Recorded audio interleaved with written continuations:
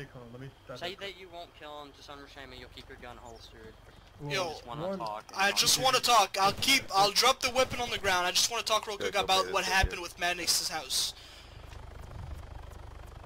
I'll drop Alright. everything. I'll drop everything on the ground. I just want to talk for Magnus real quick. Yes, and I will let you. All right.